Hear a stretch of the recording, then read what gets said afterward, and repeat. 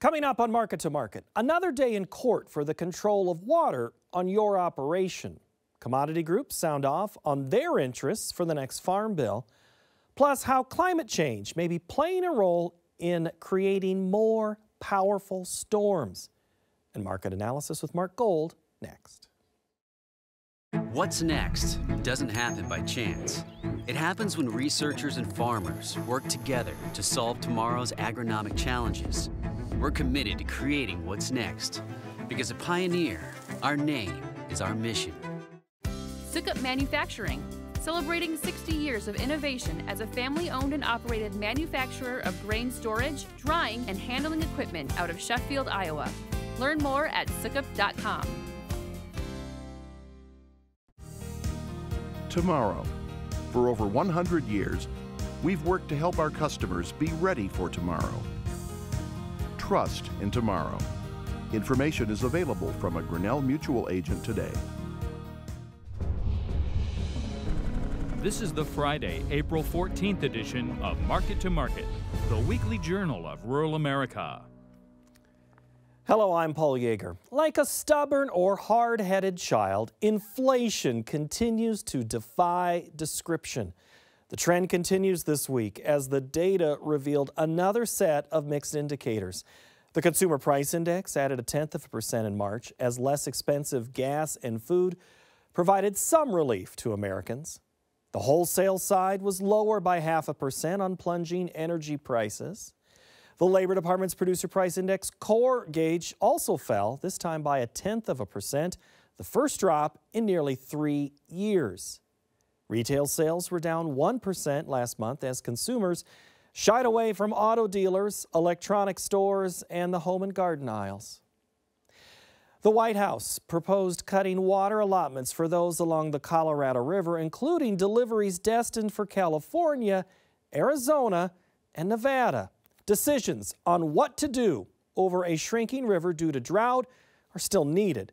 The snowpack on the upper Colorado River Basin is at 162% of the 30 year average, but much of the region remains abnormally dry. The Biden administration was in the middle of two fronts over usage, as well as regulation this week, as Peter Tubbs reports. This week, a North Dakota federal judge granted a stay of implementation on the newest set of definitions for the waters of the United States, or WOTUS. The stay, which blocks changes introduced by the Biden administration in March, is effective in the 24 states that filed the suit and joins Texas and Idaho, which earned their own stays in March. The stay reverts WOTUS enforcement to pre 2015 rules and will also be used by the EPA in the other 26 states that are not part of the legal action. The lawsuit brought against the administration's changes argued that the new definitions would place an undue burden on the state agencies responsible for enforcement.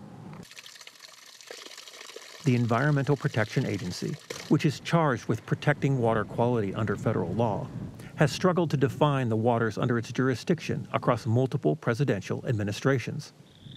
The new rules expanded protections to adjacent wetlands and additional waters, as determined by the EPA and the U.S. Army Corps of Engineers. For Market to Market, I'm Peter Tubbs. An explosion at a Texas dairy farm killed 18,000 cattle this week. The exact cause is under investigation, but the disaster impacted almost 3% of the state's dairy cows. Massive losses are nothing new to agriculture, where risk is a giant part of the equation. Having coverage for annual activities, as well as disasters, provides support to those feeding and fueling the world. Some of the solutions will be part of the next Farm Bill. The formulation stage for the trillion dollar legislation is in high gear as the writing of the next five year roadmap is underway. David Miller explains. Listening sessions focusing on the next Farm Bill continued this week in Ames, Iowa. Three members of the Senate's Agriculture Committee heard from various Iowa farm groups. So it's all about rural America. It's all about a way of life. It's all, all about producing the, the cheapest, safest food supply of any place in the world. The Farm Bill is only about 14% now about farmers. And so we want to make sure that you're well represented. I'm a co-chair of the Hunger Caucus. I understand how important the nutrition programs are, and we're going to support those. Senator John Boozman of Arkansas, who is the ranking member of the Senate Agriculture Committee, was invited to Iowa by fellow committee members Chuck Grassley and Joni Ernst. All three are Republicans. Mexico on the GMO corn issue. Thank you, thank you, thank you. That's our best market in corn, so that's a big thing. Many of the issues brought up were specific to a commodity as comments moved down the line for each of the titles under congressional review. The vaccine bank is really important in the Farm Bill. Um, what keeps me up at night is African swine fever, being a pig producer. And of course, there is no vaccine for that, but for years we have been um, asking for money about a vaccine bank for foot and mouth disease. How does agricultural research be respected and funded as other federal research agencies are uh, funded at very high levels in comparison? A third of our soybeans are destined for China. They are the largest market for our soybeans by far. And there is China buys 60% of the world's globally traded soybeans. So there's no market that really can replace them. According to Boozman, crop insurance and the ARC and PLC safety nets remain top priorities for producers. The senator also heard calls for conservation funding and pandemic planning. However, trade is the one big issue being brought up at every stop on the tour. It's a great opportunity right now because we do need to diversify from China for all kinds of different reasons. But the other thing too, when you go to Cambodia, when you go to Asia, they want to diversify too. You know, they, they don't want to put all their eggs in that basket. And so it's just a good opportunity right now. And again, I'm not being partisan in this, but I think uh, even our Democrat colleagues would agree that, that we haven't done a good job with trade. Administrations come and go. Uh, we really do have to figure that out. For Market to Market, I'm David Miller. The rain started in South Florida Monday and kept going for days. The Fort Lauderdale area recorded between 15 and 26 inches of rain. By Wednesday, the airport there closed as runways were covered. Amounts like this are more common during hurricane season, but for April, it is unusual. Normal may be a word of the past, as we will see in the third and final installment of Iowa's Wild Weather. Here's John Torpy with this week's cover story. In August of 2020, a collection of thunderstorms packing hurricane force winds leveled large portions of landscape across eight Midwestern states. The widespread event set a record for the nation's most expensive thunderstorm, causing more than $12 billion in damage. Weather forecasters labeled the powerful storm a derecho.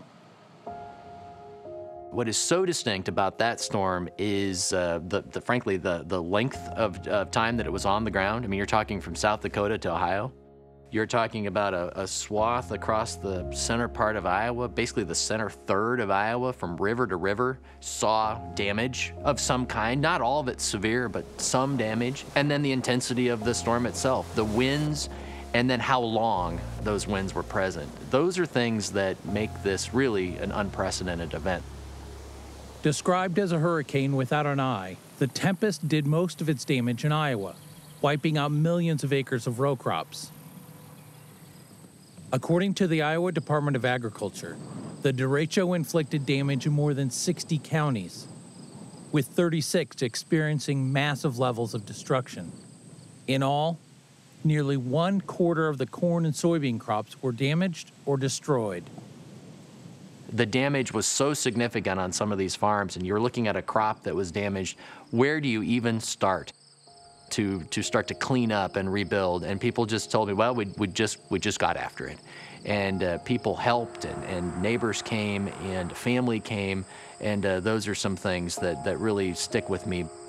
And yet, knowing that there was a pretty major effort that was still ahead of them to try to uh, try to recover.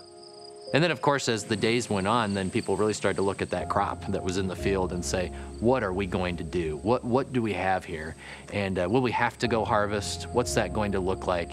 And I also remember visiting with, with uh, farmers who had then gone about harvesting or attempting to harvest those crops and going one direction at mile, mile and a half, uh, you know, per hour in the combine, uh, you know, being really hard on equipment uh, in that process, and just grinding through a harvest that was, just wouldn't end. It took forever.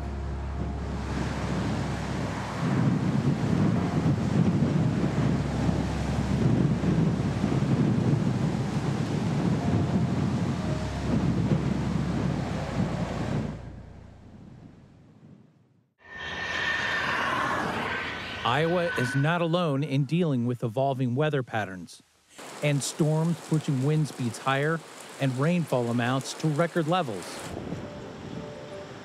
In December of 2021, a severe line of storms produced an EF4 tornado in Mayfield, Kentucky. The twister was part of a much larger system that stretched over six states. The supercell thunderstorm spawned multiple tornadoes on its eight hour, 350 mile journey. For Glisan, the significance of this storm wasn't just the system's severity, but the storm's timing. Along that cold front, along that squall line, and eventually what will become a derecho, by no means as devastating as the August 10th derecho, 63 tornadoes were spawned from that event. We're talking the middle of December, okay? Uh, the largest tornado outbreak for December for the United States in United States history across Iowa, but also the largest outbreak of tornadoes for the state of Iowa for any month in December. Blows your mind. It still blows my mind thinking about that. The conditions needed for storms to spawn multiple tornadoes, coupled with expanding and shifting storm fronts across the country, are among the conditions Glisan and other climatologists have been watching for several years. The general summary there is we're seeing more outbreaks of tornadoes as opposed to one-off tornadic events. We're also seeing some semblance of a shift from the classic tornado alley, which is in Nebraska, Oklahoma, down in Texas, and expands into parts of Iowa. It depends on what your definition of tornado alley is. We're seeing an increase in, uh, in tornadoes in Dixie Alley, Kentucky, Tennessee, uh, Alabama, Mississippi.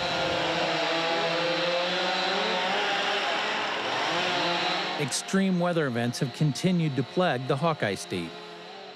In spring of 2022, a storm system composed of three supercell thunderstorms spawned 10 tornadoes.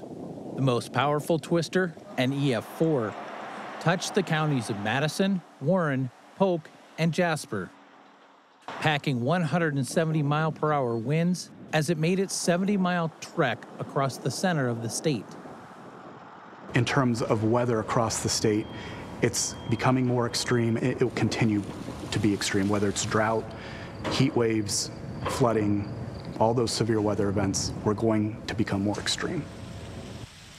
Glisan believes that climate change is playing a role in the severe weather trend being experienced by Iowans over the past decade. How much climate change may have influenced the conditions that launched the 2020 derecho may not have a simple answer. So, when we talk about climate change impacting severe weather, winter weather, any kind of weather event that we talk about, we don't use one event to um, dictate a trend as a scientist. We need multiple data points that tell us in a direction that we're moving. Peer reviewed studies that have shown that the days in which severe weather environments have increased, especially in March, April, May, April, May, June, are due to a warmer climate. So definitely there are climate change fingerprints on the larger scale structure of the atmosphere. Now, for individual events, uh, was the August 10th derecho uh, supercharged because of climate change? We don't know yet. For Market to Market, I'm John Torpy. Next, the Market to Market Report. USDA's kicking of the stocks can down the road did little to move the needle in the trade. Weather had the biggest influence on the market as spring planting shifted into high gear. For the week, the nearby wheat contract gained 7 cents, while the May corn contract rose 23 cents. Meal and oil moved independently of rising crude prices in the soy complex. The May soybean contract bumped up 8 cents, while the May meal contract added 5.40 per ton. May cotton retreated 34 cents per hundredweight. Over in the dairy parlor, May class 3 milk futures dropped 28 cents. The livestock market was mixed as June cattle put up 60 or they put on 63 cents. May feeders added 250 and the June lean hog contract shed $1.30. In the currency markets, the US dollar index lost 25 ticks. May crude oil added $1.91 per barrel. COMEX gold fell 540 per ounce and the Goldman Sachs commodity index gained just over 8 points to settle at 595 even. Joining us now, regular market analyst, Mr. Mark Gold. Hi, sir. How are you? Nice to be back. Good to have you here. I was talking to a friend in Oklahoma today, and we were talking about how things go. And it's the same conversation I think we have in July and August with a corn or a soybean farmer that says, It's so dry around me. Why is X not happening? Right. Why is X not happening in wheat right now, Mark? Well, it did today. You know, Kansas City wheat was rallied 40 cents off its lows. Chicago rallied 25 off its lows or more. Uh, it came back and had a very powerful close here on the charts today. I, I was kind of surprised most of the week when Kansas City wheat was kind of taking it on the chin. I keep getting report after report about how bad the drought is and the yields and what's going to be plowed under and not even harvested out there. And it's the crop is in serious shape. And Kansas City had gotten up to about nine dollars. They'd put the July Kansas City Chicago spread way out, maybe a little bit too high. It was close to two dollars. It backed off quite a bit. But long term, I don't know how you can be short Kansas City wheat, uh, and even Chicago wheat. Looks like we're trying to make a little bit of a rounded bottom on the uh, charts. The market looks good. The price action today was exceptional, an outside up day on the charts. So I thought it all looked good. But the stocks, lowest in eight years, right? So there's some fundamental, there's some technical things you're talking about. Give me a little advice on on this deferred crop then for, for wheat moving forward, given what we have right now. Well, I can't say I'm bearish the wheat at all. Uh, but as a risk manager, would I throw a cheap put underneath it just to have something on? I probably would. If you've got wheat sold, I would certainly be looking at buying call options to keep the upside open in the wheat market. And we did that on on Monday on corn and beans. Haven't quite pulled the trigger yet on the wheat, but uh, I think pretty soon here. All of them, I think, look pretty good, particularly the old crop. Corn wise, we didn't really change the carryout number. We didn't really change this, didn't really change that on this old crop.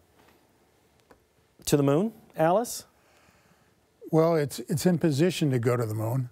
Um, we've got lower stocks. We've got this decent, pretty good Chinese buying out here. Um, we know the Argentinian crop keeps losing. Today, I think they cut it down to 32 million metric tons in the corn and 23 on the beans.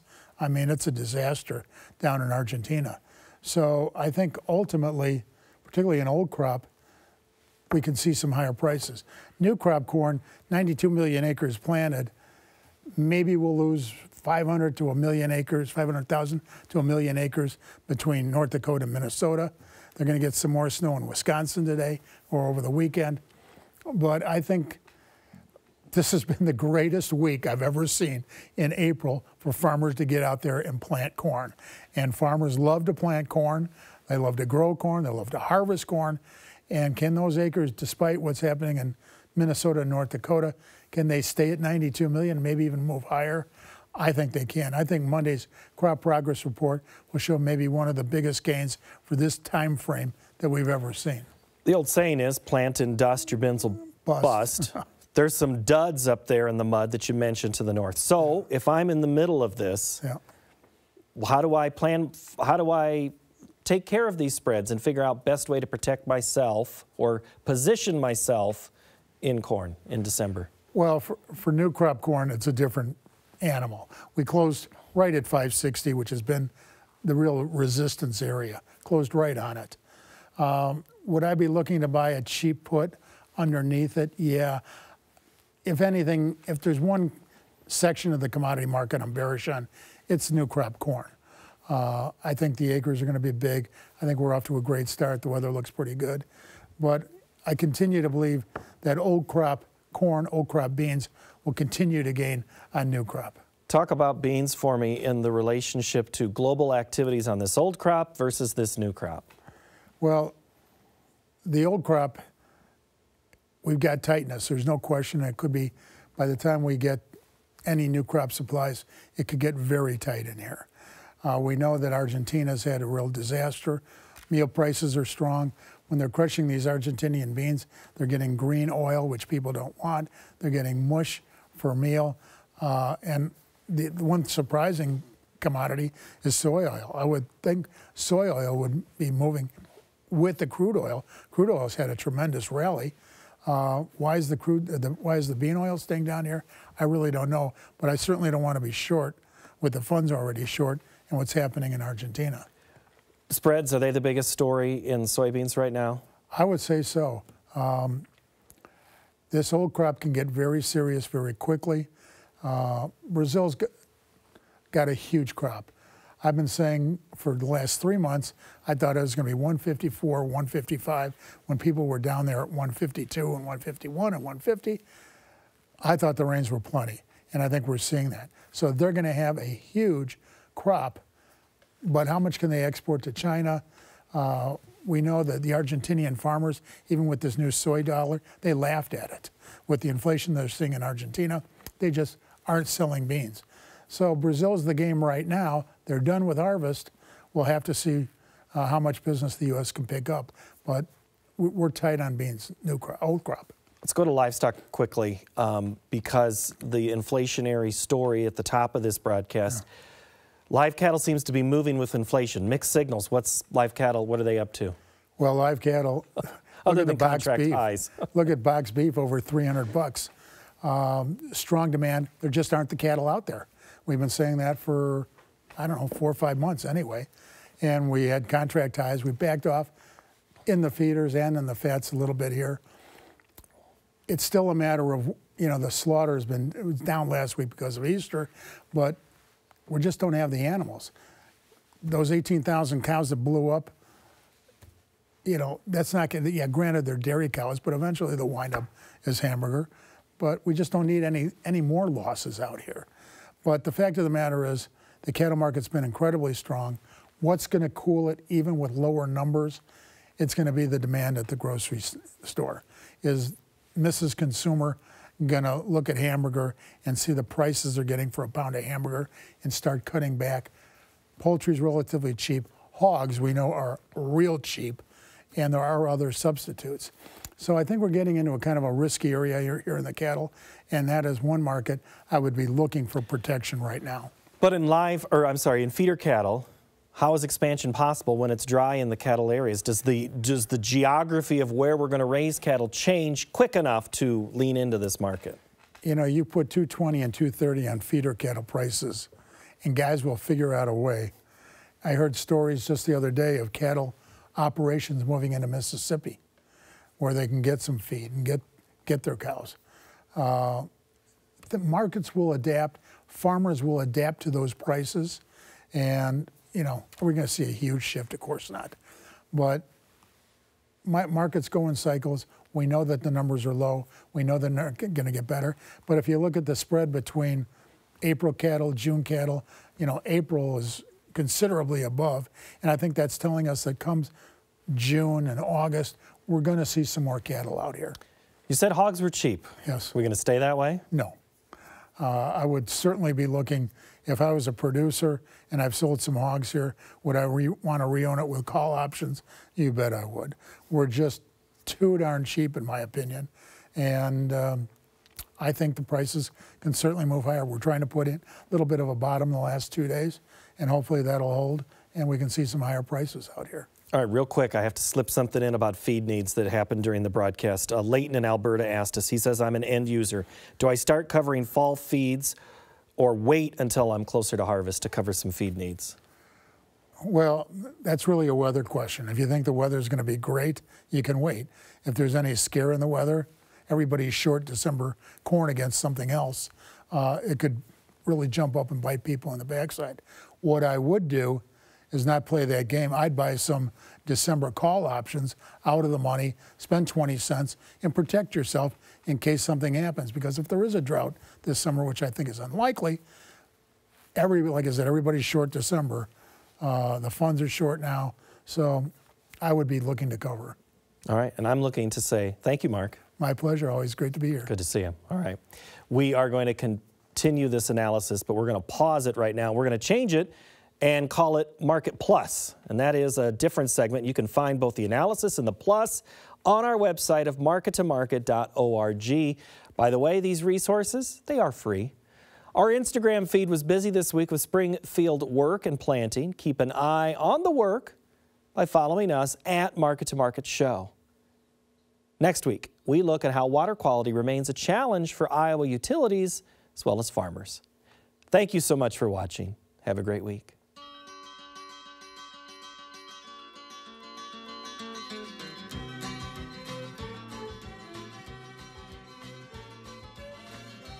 Market to Market is a production of Iowa PBS, which is solely responsible for its content.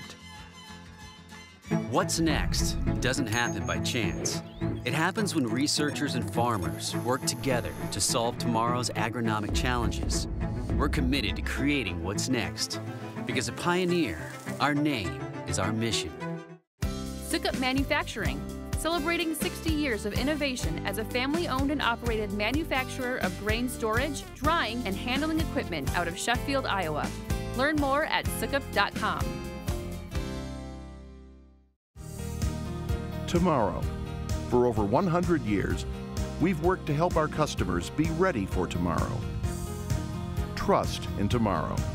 Information is available from a Grinnell Mutual agent today.